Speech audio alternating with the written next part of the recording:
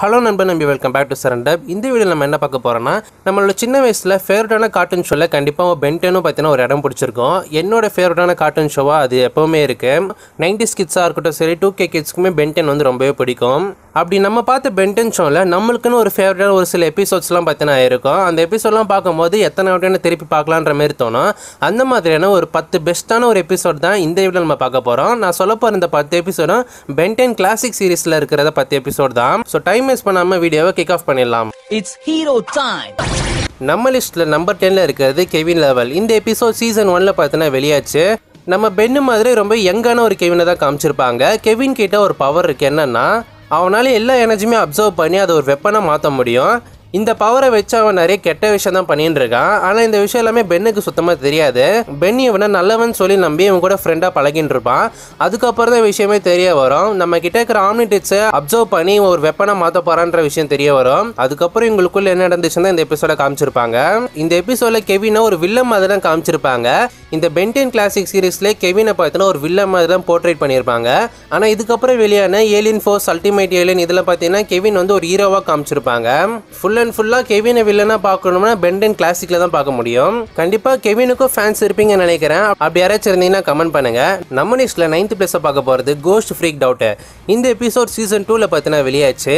பென்டனோட ஆம்னிடெஸ்ஸில் one of the alien தான் நம்ம கோஸ்ட் ஃப்ரீக்கை ஒரு சமயத்தில் பென் கோஸ்ட் ஃப்ரீக்காக மாறும்போது அவனோட கண்ட்ரோலே பார்த்தீங்கன்னா அந்த கோஸ்ட் ஃப்ரீக் இருக்காது. அது மட்டும் அது போக்கில் செய்ய ஆரம்பிக்கும். அதுக்கப்புறம் பென்னோட கண்ட்ரோல்லேருந்து கோஸ்ட் ஃப்ரீக் பார்த்தீங்கன்னா ஆம்னிட்ரிஸ்லேருந்து வெளியே வந்துடும் வெளியே வந்ததுக்கப்புறம் உன்னோட ஆம்னிட்ரிஸில் எனக்கு அடைஞ்சிருக்கிறது சுத்தமாக பிடிக்கல. நான் இந்த உலகத்தை தனியாகவே நின்று ஆள போகிறேன்னு சொல்லி ரொம்பவே பயமுத்துற மாதிரி பார்த்தீங்கன்னா பேசிகிட்டு இருக்கோம். சீரியஸாக சொல்லணும்னா இந்த எபிசோடில் கோஸ்ட் ஃப்ரீக்கை பார்த்து எனக்கு ரொம்பவே பயம் வந்துச்சு. இந்த எபிசோட ரொம்பவே டார்க்காக அதுக்கப்புறம் ஆரோராக காமிச்சிருப்பாங்க. ஸோ கோஸ்ட் ஃப்ரீக்கை பார்த்து பயம் வந்தது இந்த எபிசோட்ல தான். ஸோ நம்ம பெயின் மறுபடியும் கோஸ்ட் ஃப்ரீக்கை பிடிச்சி அவர் ஆம்னிட்டிஸ்ல சேர்த்தாரா இல்லையா இந்த எபிசோட்ல காமிச்சிருப்பாங்க. இதை தொடர்ந்து நம்ம லிஸ்ட்ல எயித்து பிளேஸை பிடிச்சிருக்கிறது கென் டென் சீசன் ஃபோர்ல வெளியான எபிசோட் செவன் இந்த எபிசோட்ல பென் டெனிசனோட ஃபியூச்சரை காமிச்சிருப்பாங்க. இதுக்கு முன்னாடி ஒரு எபிசோட்ல காமிச்சிருப்பாங்க. பட் இது வந்து செகண்ட் டைமாக காமிப்பாங்க. ஸோ அந்த ஃபியூச்சரில் பார்த்தீங்கன்னா பென் தான் இன்டர் கேலக்டிக் சூப்பர் ஹீரோவாக இருப்பார். அது மட்டும் இல்லாமல் அவர் பென் டென்டோசன் சொல்லி கூப்பிடுவாங்க. ஃபியூச்சரில் ஒரு சிங்கிள் ஃபாதராக இருப்பார். எப்படி அவரோட பையனை பார்த்துக்கிறாருன்ற மாதிரி இந்த எபிசோடில் காமிச்சிருப்பாங்க. இந்த எபிசோட் யாரை ஃபோக்கஸ் பண்ணுதுன்னா கென்னை தான் ஃபோக்கஸ் பண்ணுது. கென் கிட்ட ஆம்னிட்ரிஸ் வந்ததுக்கு அப்புறம் அவன் எப்படி அந்த ஆம்னிட்ரிஸ் வச்சு பயன்படுத்துகிறான் அவனோட ரெஸ்பான்சிபிலிட்டிஸ்லாம் அவன் புரிஞ்சுக்கிறானா இல்லையா தான் இந்த எபிசோடில் காமிச்சிருப்பாங்க.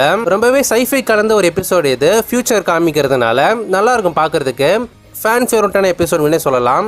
அடுத்ததாக நம்ம லிஸ்ட்டில் செவன்த் பிளேஸில் இருக்கிறது ஃப்ரேம்டு சீசன் டூவில் வெளியான எபிசோட் த்ரீ இந்த எபிசோட் பார்த்தீங்கன்னா முழுக்க முழுக்க ஒரு கிரைம் த்ரில்லர் படம் மாதிரி பார்த்தீங்கன்னா இருக்கும். பென் டிரான்ஸ்ஃபார்ம் ஆகிற எல்லா ஏலியன்ஸுமே பார்த்தீங்கன்னா பேங்க்ல போய் கொள்ளையடிக்குது மக்களை துன்புறுத்துது. இந்த மாதிரி தப்பான விஷயங்கள்லாம் பண்ண ஆரம்பிக்குது. உண்மையிலேயே இதெல்லாம் பென் தான் பண்ணுறானான்னு சொல்லி கேட்டிங்கன்னா கிடையாது. ஆனால் வேறு யாரோ பண்ணுறாங்க அது யாருன்றதை கண்டுபிடிக்கிற மாதிரி காமிச்சிருப்பாங்க. ஒரு இன்வெஸ்டிகேஷன் கிரைம் த்ரில்லர் மூவி மாதிரி காமிச்சிருப்பாங்க. நல்லா இன்ட்ரெஸ்டிங்காக போகும் இந்த எபிசோடு யார் தான் கடைசியில் அது பண்ணுறாங்கன்னு சொல்லிட்டு அது யார் பண்ணாங்கன்னா கண்டிப்பாக நான் சொல்ல மாட்டேன் ஸ்பாய்லர் ஆகிடும் ஏன்னா பார்க்காதவங்க நிறைய பேர் இருப்பீங்க. வென்டென் சீரிஸில் இந்த எபிசோட் பார்த்தீங்கன்னா கொஞ்சம் டிஃப்ரெண்ட்டாக ஒரு கிரைம் த்ரில்லர் மாதிரி கொண்டு போயிருப்பாங்க. கூடவே கொஞ்சம் ஆக்ஷன் சீன்ஸுமே கொடுத்துருப்பாங்க. பட் முழுக்க முழுக்க ஒரு இன்வெஸ்டிகேஷன் கலந்த ஒரு கிரைம் த்ரில்லர் மூவி மாதிரியே இருக்கும். நெக்ஸ்ட் நம்ம லிஸ்ட்டில் சிக்ஸ்த் பிளேஸில் இருக்கிறது பென் உல்ஃப் ஸோ இந்த எபிசோட் பார்த்தீங்கன்னா ஒரு ஆரர் எபிசோட் மாதிரி காமிச்சிருப்பாங்க. ஸோ ஆரம்பத்தில் நான் கோஸ்ட் ஃப்ரீக் எபிசோட் சொல்லியிருப்பேன். அது ஒரு கொஞ்சம் டார்க்காக ஆரராக காமிச்சிருப்பாங்க. அதே மாதிரி இந்த படத்துலையும் ரொம்பவே டார்க்காக ஆரராக பார்த்தீங்கன்னா காமிச்சிருப்பாங்க. எல்லாமே நைட் டைமில் நடக்கிற மாதிரி காமிச்சிருப்பாங்க. வேர் உல்ஃபாக மாறின்னு இருப்பான் ஒரு சமயத்தில் முழுசாக மாறினதுக்கப்புறம் அவனே மறந்துட்டு ஒரு வேர் உல்ஃப் மாதிரி நடந்துட்டு இருப்பான் கிராண்ட் பாவும் கொண்டு ஒன்றா சேர்ந்து எப்படி பெண்ணை பழையபடி மாத்துறாங்க அப்படின்றத இந்த எபிசோடில் காமிச்சிருப்பாங்க.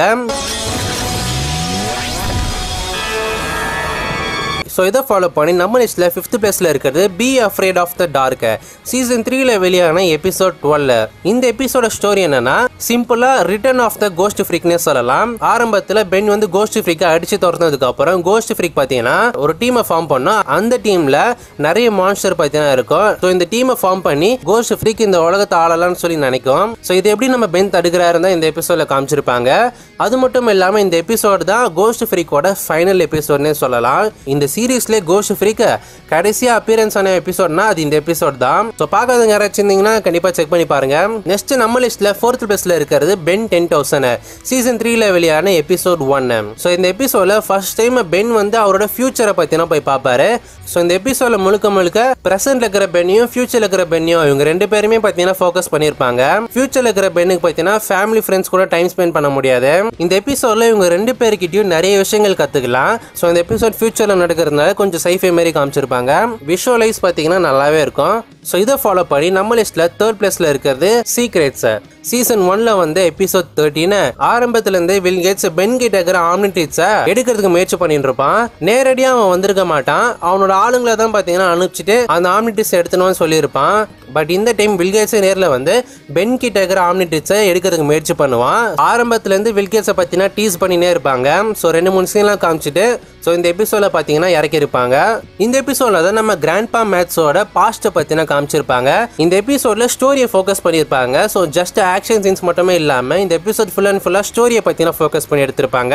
நிறைய விஷயம் பார்த்தீங்கன்னா ரிவீல் பண்ணுவாங்க. ஸோ அதனால தான் சீக்ரெட்ஸ்னு பார்த்தீங்கன்னா எபிசோட் பேர் வச்சிருப்பாங்க. இந்த எபிசோட பார்க்கறதுக்கு முன்னாடி நீங்கள் ஆரம்பத்துலேருந்து பார்த்துன்னு வந்தால் தான் ஒரு சில விஷயம்லாம் புரியும்.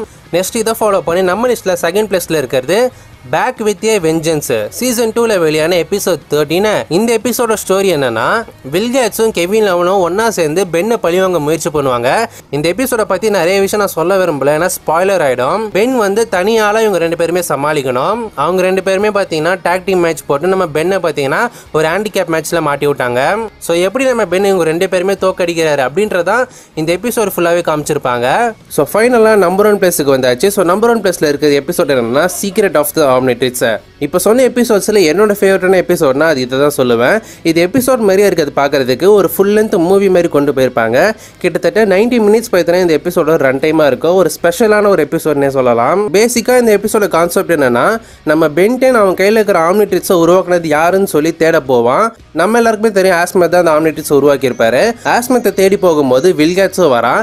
இதுக்கு நடுவில் என்னென்ன பிரச்சனைகள் நடந்தது? எப்படி வில்கேட்ஸை தோக்கடிச்சா அப்படின்றதான் இந்த எபிசோட கான்செப்டை காமிச்சிருப்பாங்க. எபிசோட ஆரம்ப ஆரம்பத்துலேருந்து முடிவு வரைக்கும் பார்த்தீங்கன்னா செம்ம இன்ட்ரெஸ்டிங்காக கொண்டு போயிருப்பாங்க. இந்த 90 மினிட்ஸும் போகிறதே தெரியாது. இந்த எபிசோட கிளைமேக்ஸில் பென்னுக்கு வே பிக்னு சொல்லி ஒரு புது ஏலியன் பார்த்தீங்கன்னா ஆஸ்மித் கொடுத்துருப்பாரு. ஆரம்பத்தில் பென் அந்த ஆம்னிட்டிஸை வச்சு ரொம்பவே ஜாலியாக தான் அதை வச்சு விளையாடின்னு இருப்பான். பட் இந்த எபிசோட்ல பென்னோட கேரக்டர் ரொம்பவே டெப்தா காமிச்சிருப்பாங்க. அவனால எந்த ஏலியனாவும் டிரான்ஸ்ஃபார்ம் ஆக முடியாத சமயத்துல கூட அவன் போராடுறதுக்கு முயற்சி பண்ணுவான். இந்த இடத்துல பென் வந்து ஒரு உண்மையான ஹீரோவா மாறிட்டான். ஸோ இதை பார்த்து ஆஸ்மத் பென் கிட்ட இருக்கிற ஆம்னிடிட்ஸை சரி பண்ணி ஒரு புதிய ஏலியன் பார்த்தா கொடுப்பாரு. அதுதான் வே பிக் அதுக்கப்புறம் பென் ஆஸ்மித் கிட்ட வேணும்னா இந்த ஆம்னிடிட்ஸை என் கையிலேருந்து எடுத்துக்கோங்கன்னு சொல்லுவாரு. ஸோ அந்த இடத்துல அவர் ரொம்பவே மெச்சூர்டாக நடந்திருப்பாரு. இந்த ஆம்னிடிட்ஸ் எனக்கு தகுதியானது இல்லையோ அப்படின்ற மாதிரி அவர் நினச்சிருப்பாரு. பட் ஆஸ்மித் இது உங்ககிட்ட தான் இருக்கணும் அப்படின்னு சொல்லி அவர்கிட்ட கொடுத்துட்டு போவார். ஸோ இந்த எபிசோடில் ஃபுல்லாக பென்னோட கேரக்டர் ரொம்பவே டெப்த்தாக காமிச்சிருப்பாங்க. அதனால எனக்கு இந்த எபிசோட் ரொம்ப ஃபேவரட்டான ஒரு எபிசோட்னு சொல்லுவேன். ஸோ ஓகே நண்பா நான் சொன்ன பத்து எபிசோட்ஸில் என்னோட ஃபேவரட்டான எபிசோட் சீக்ரெட் ஆஃப் சாமினிட்டிஸ் நான் சொல்லிட்டேன். அதேமாதிரி உங்களுக்கு ஃபேவரட்டான எபிசோடு இந்த பத்தில் இல்லைனாலும் உங்களுக்கு ஃபேவரட்டான எபிசோடு எதுன்றதை மறக்காம கீழே கமெண்ட் பண்ணுங்கள் அது மட்டும் இல்லாமல் உங்களுக்கு பிடிச்ச ஏலியன்ஸ் எதுன்றதை மறக்காம கீழே கமெண்ட் பண்ணுங்கள் கூடவே இந்த மாதிரி கார்ட்டூன் சம்மந்தப்பட்ட வீடியோஸ் போடலாமா? எனக்கு அனிமேஷன் அண்ட் கார்ட்டூன்னாலே ரொம்ப பிடிக்கும். ஸோ இந்த மாதிரி நிறைய வீடியோஸ் பார்த்தீங்கன்னா பண்ணலான்னு இருக்கேன். அதுக்கு உங்களோட சப்போர்ட் கண்டிப்பாக வேணும். ஸோ இதுமாரி பண்ணலாமா வேணாமான்றத கீழே பார்த்தீங்கன்னா கண்டினியூன்ற ஒரு ஹேஷ்டேகை பார்த்தீங்கன்னா போடுங்க. அப்போ தான் நானும் தெரிஞ்சுப்பேன் இது உங்களுக்கு பிடிச்சிருக்கேன்னு சொல்லிட்டு. பென்டன் ஃபேனாக இருந்தால் லைக் பண்ணிடுங்க பென்டன் வெரியனாக இருந்தால் ஷேர் பண்ணிடுங்க. புதுசாக வரீங்கன்னா நம்ம சேனலை சப்ஸ்கிரைப் பண்ணிக்கோங்க. வேற என்ன? இதே போல் இன்னொரு சந்திக்கிறேன். நான் உங்களை நண்பன் டாட்டா பாபாய் சி